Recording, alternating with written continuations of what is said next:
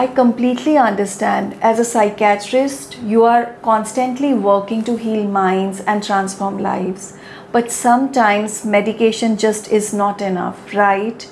What if you could unlock new non medical interventions that could reach even the most resistant patients? At our NLP and Hypnosis Life course, you will gain tools to manage complex cases more effectively, address resistance, and even take care of yourself to avoid burnout. Join us in Chandigarh to elevate your practice and enhance your well being.